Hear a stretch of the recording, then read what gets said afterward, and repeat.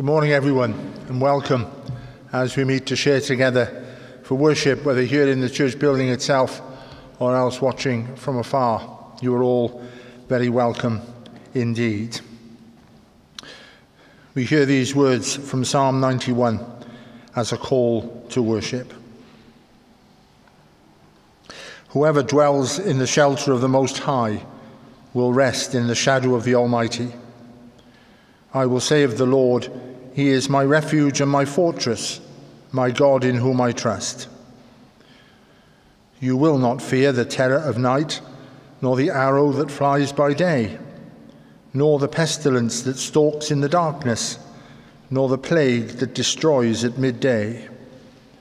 If you say, The Lord is my refuge, and you make the Most High your dwelling, no harm will overtake you, no disaster will come near your tent. For he will command his angels concerning you to guard you in all your ways. They will lift you up in their hands so that you will not strike your foot against a stone. You will tread on the lion and the cobra, you will trample the great lion and the serpent. Because he loves me, says the Lord, I will rescue him. I will protect him, for he acknowledges my name. He will call on me, and I will answer him. I will be with him in trouble. I will deliver him and honor him. With long life, I will satisfy him and show him my salvation. We pray together. Let us all pray.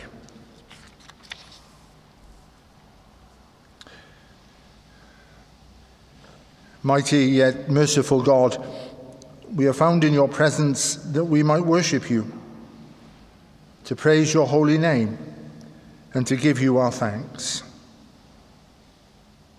We meet in the name of Jesus, the one in and through whom you have shared yourself with us and with the world, opening your heart, bearing your soul, revealing the intensity of your love for each and every one of us we do indeed give you thanks that none of us is beyond the reach of your forgiving love and of your saving grace. We thank you for one another, for the strength we can draw from each other, for the encouragement we can give to each other, for the blessing we can bring to each other. We give you thanks that even at a time such as this, when none of us can be certain concerning what is to happen, even in the immediate future, that you are always and forever there for us. Encourage us, O God, in our faith. Deepen our understanding of your will and purpose. Heighten our appreciation of your loving kindness. Enlarge our vision for your church. And widen our horizon such that we might glimpse something of the glory of heaven in the midst of the deepening darkness. To that end, as we worship, may this place be lit up by your presence. For Jesus' sake. Amen. And now we're to hear the organ fanfare based on the tune Cwm Rhondda.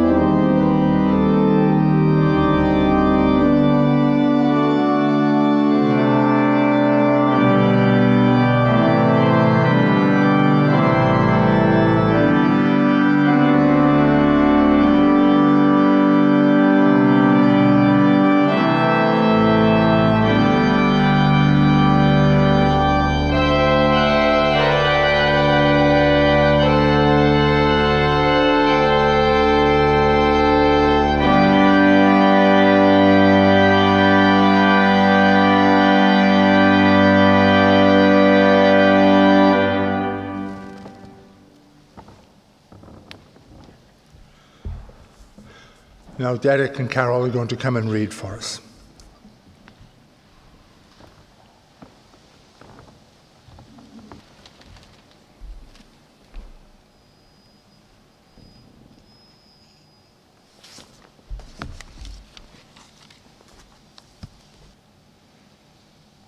Our first reading is from the book of Genesis, chapter 6, starting at verse 9.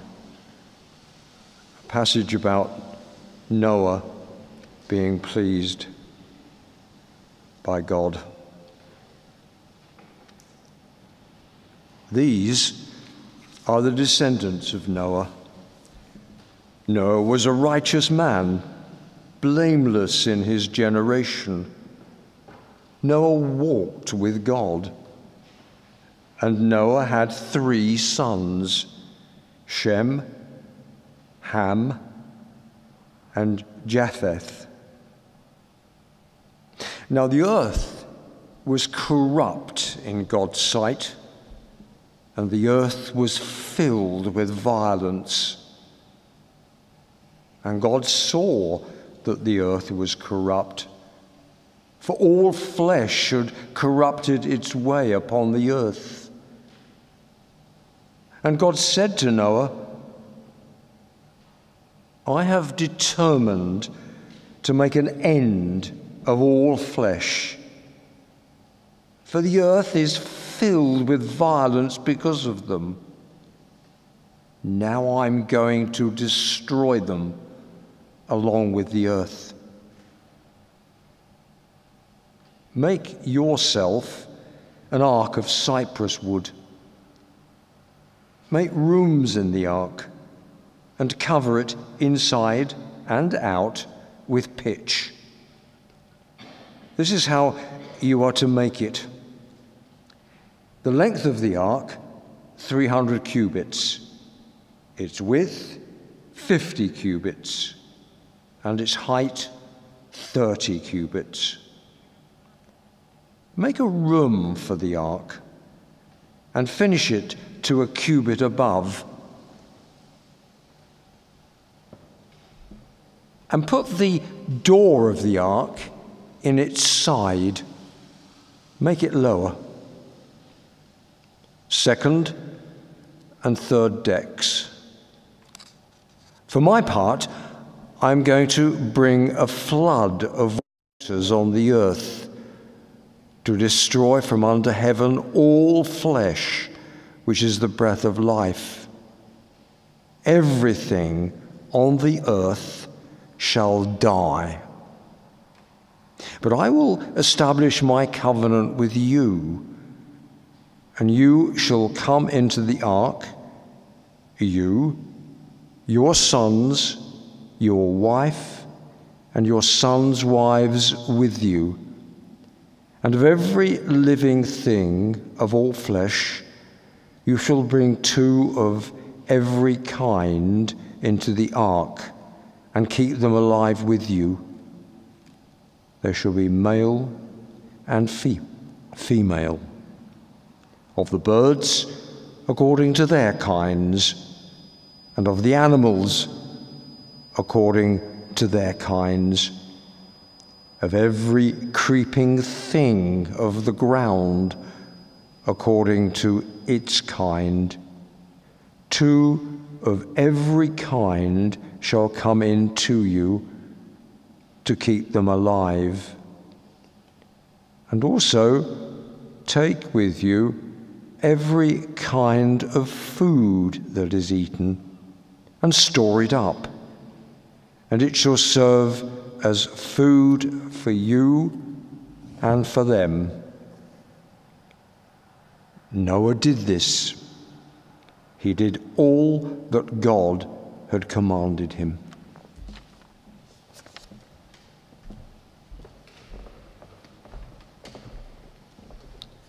We carry on with the story in chapter 7, the great flood.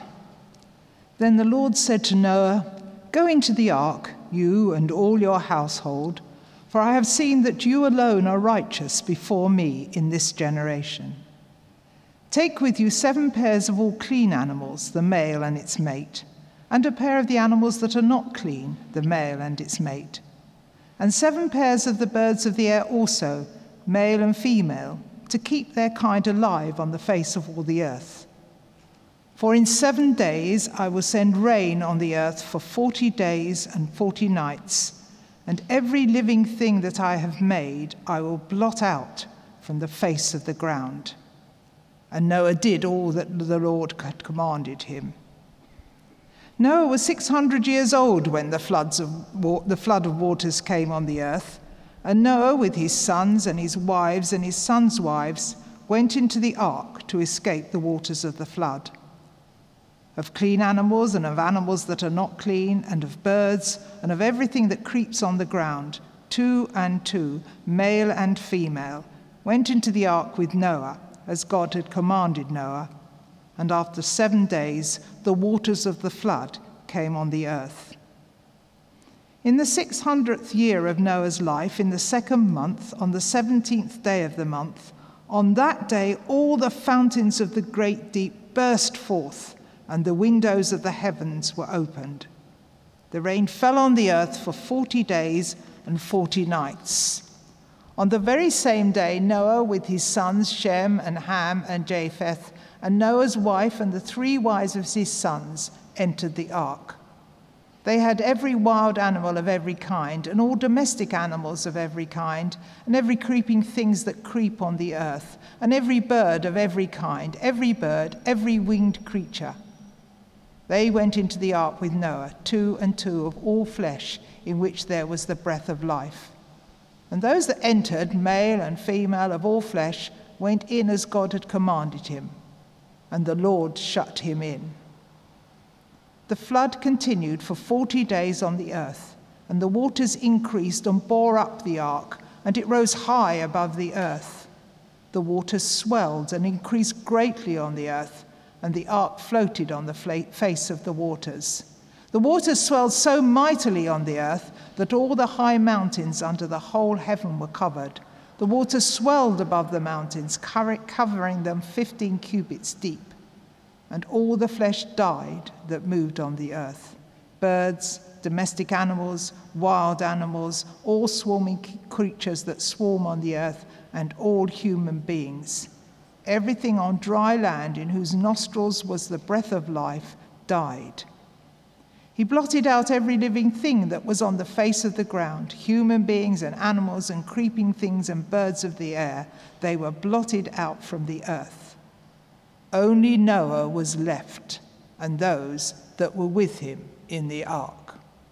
Thanks be to God.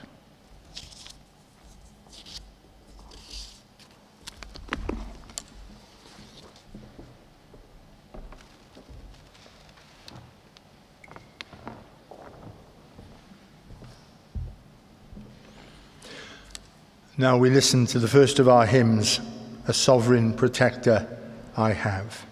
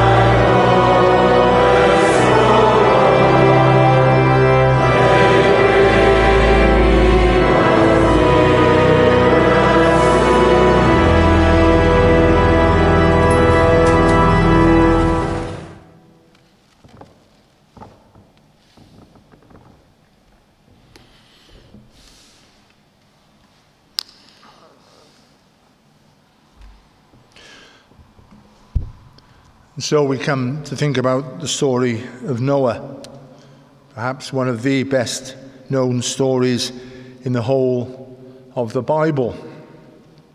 There's an awful lot that could be said. We don't really have the time to consider all the implications that arise out of what we've heard read for us. So, just some particular thoughts this morning. We often speak about ourselves having been made in the image of God. But in the story of Noah, we glimpse something of the us in God. Often it's about God in us. But the story of Noah reminds us that there's something of us in God. That sense of bitter regret that God had. He had over having created in the human created humankind in the first place. It's as if God is saying out loud, if only to himself, How could I have been so stupid? How could I have been so naive? to create humankind and think that they would live in a way that I would have them live, to think that they would not turn their back on me, to think that they would not use the freedom I gave them to go their own way. How stupid I was. And God has that perfectly human response to all of this I'm going to destroy it. I've had enough of it. I'm not putting up with it anymore. Why should I?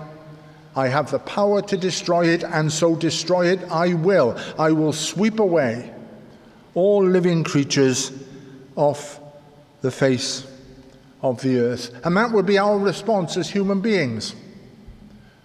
When we are confronted by that which frustrates us and angers us, we want to sweep it all away.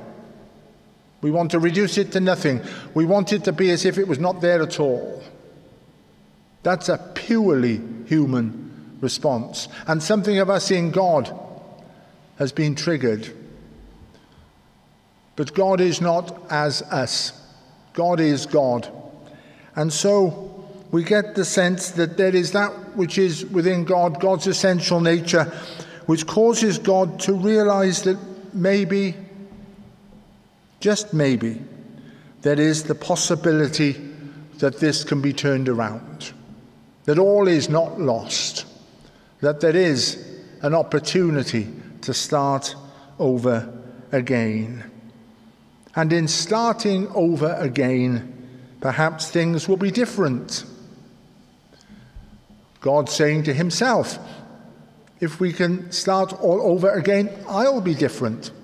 My approach will be different. The nature of the relationship I establish with humankind will be different. I'll own up to my mistakes.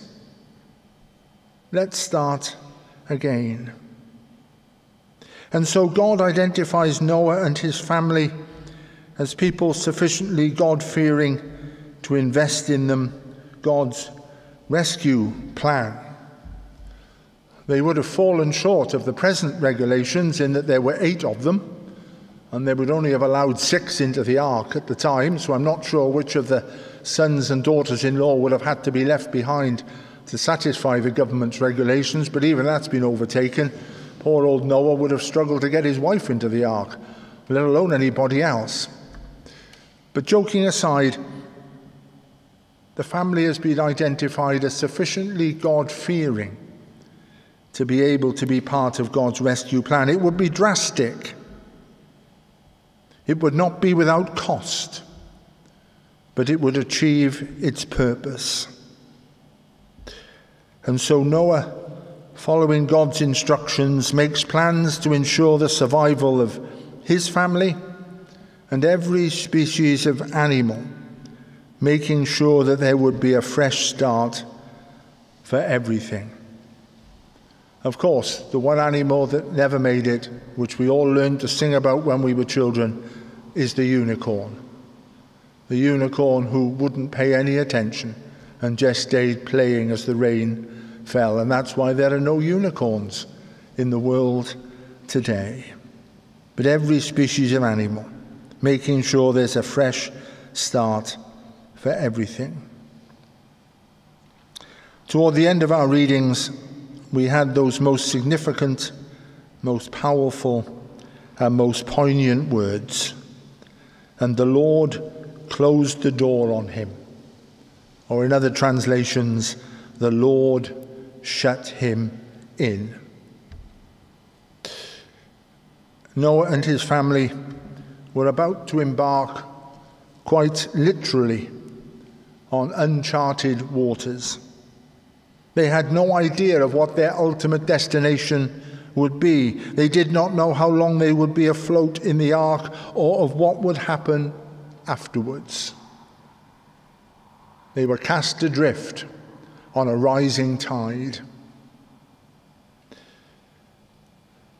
God's providential care is at the heart of what we believe as Christians. The announcement yesterday concerning what is to happen from Thursday onwards, it's as if we are being asked once again to enter the ark. Lockdown Mark 2. We've no real idea of how it will end, all of this. We don't know how long it will be, whether this particular period of time or whenever. We don't know what will transpire or how we will be personally, or as a church, a community, or a country. We are being cast adrift on a rising tide of infection. All we can do is hold on to this essential truth that through it all, we will be under the protection of God's providential care. That's the promise that was given to Noah and his family, and that promise has held true for every generation. And God says to the family of his people today, ourselves included, we will be kept under the protection of his providential care. And it is in that spirit we are able to entrust one another to God's safekeeping, even as Noah and his family were prepared to trust themselves to God's safekeeping.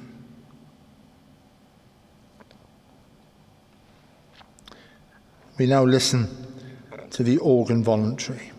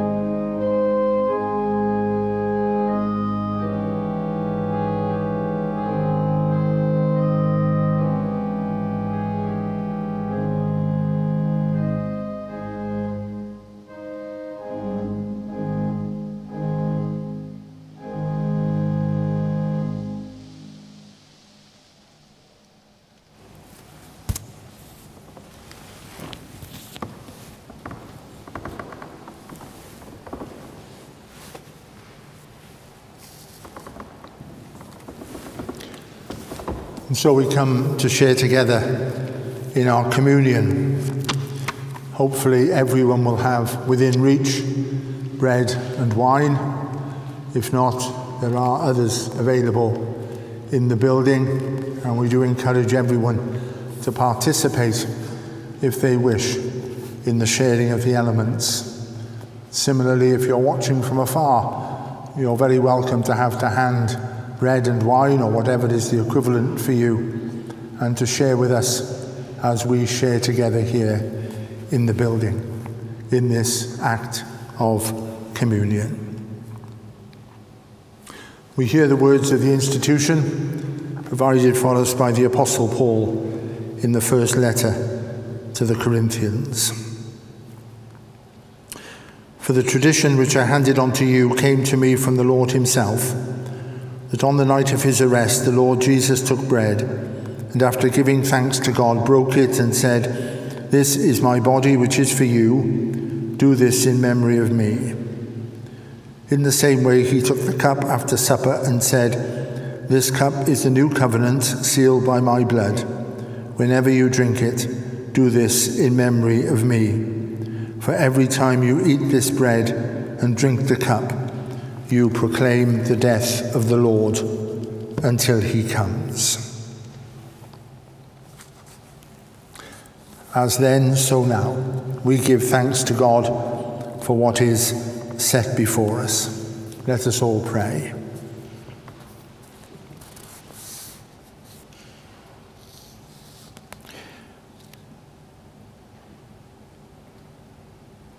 We say thank you to God for what is represented in this bread and this wine.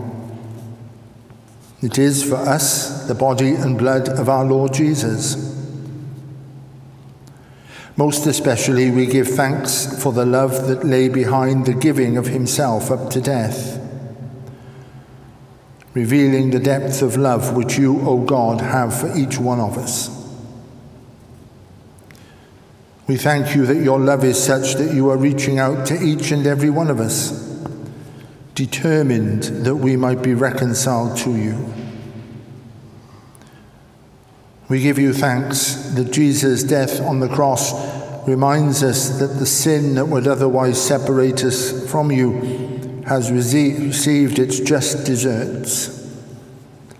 Now there is only forgiveness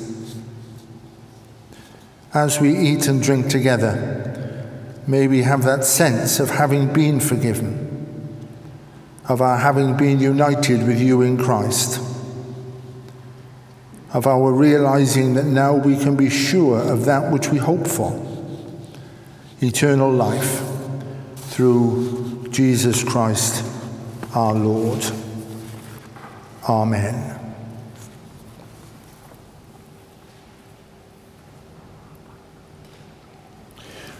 After giving thanks to God, he took the bread and broke it, saying, This is my body, which is broken for you. Do this in memory of me. We take the bread, which is the hand, we eat it directly, reminding ourselves of the privilege we have a personal relationship with God through our Lord Jesus Christ.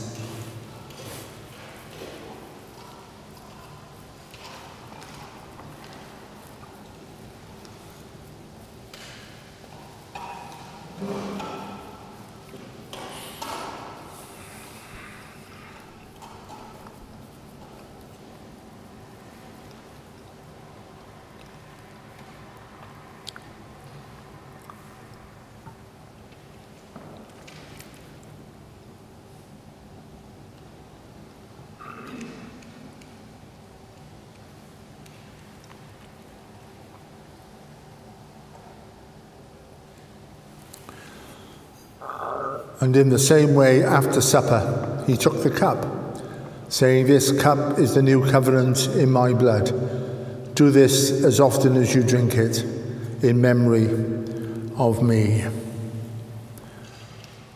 We take the hand, glasses we have containing the wine. We pause for a moment. And then we drink together reminding ourselves that we are indeed all one in Christ Jesus.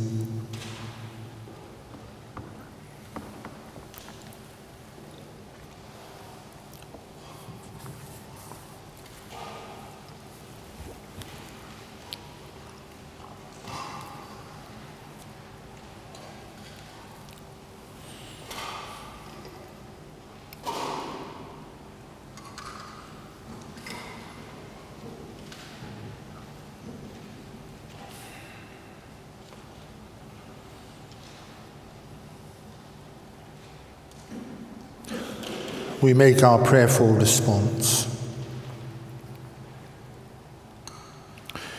And in the quietness, we remember before God those for whom we would pray ourselves, our families and our friends, especially those for whom we have a particular concern and about whom we are particularly anxious. We pray on this All Saints' Day, remembering all those precious to us who are no longer with us.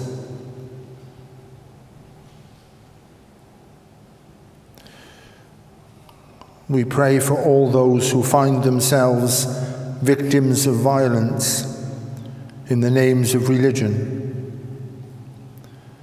and for all those victimized because of their religious, political, or cultural allegiance.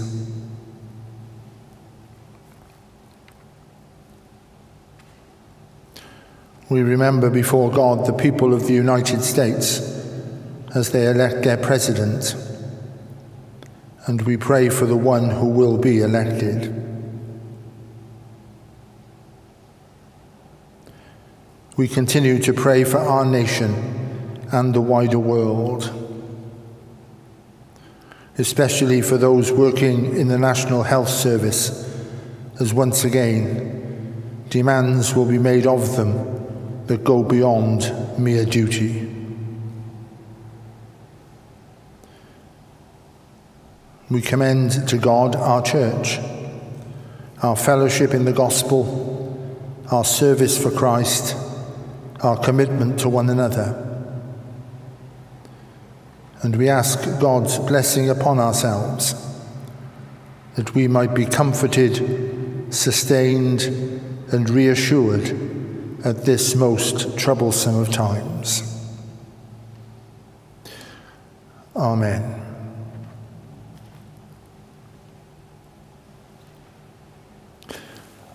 We listen to the second of our hymns. I, the Lord of sea and sky. My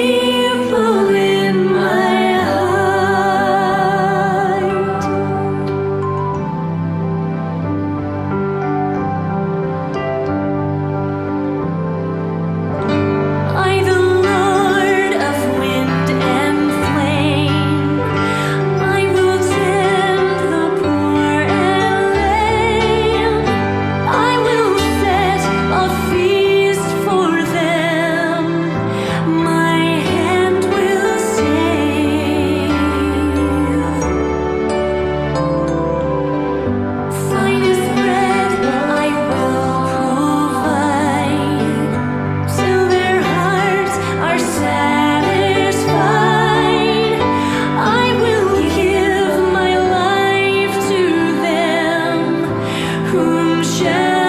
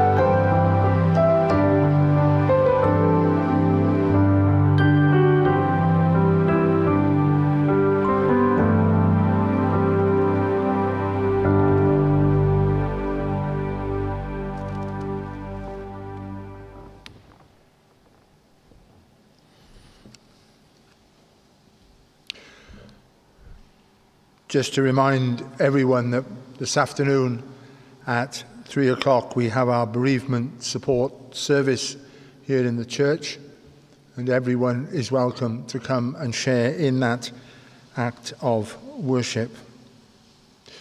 But as regards the future, I think by now everyone will be aware that as part of the new regulations, places of worship have to close at least for the next month. And as we have always agreed, we comply with the regulations. And so next Sunday there will not be a service here in the church. And we will wait until we are told that we're allowed once again to gather for worship. We will be making worship available through the various social media channels, and I hope as many as can and are able will tune in for that. But otherwise, encourage you to stay in touch with one another during this particular time. Not just rules concerning church, it's the rules concerning everything that are important if we are to be able to return as we presently are. In that spirit, we hear these words of the Apostle as he sends us out. And let us pray that we may be delivered from wicked and evil people. For not everyone has faith, but the Lord is faithful, and he will strengthen us and protect us from the evil one. We can have confidence in the Lord that together we are doing and will continue to do the things God commands. May the Lord direct our hearts into God's love and into Christ's perseverance. Amen.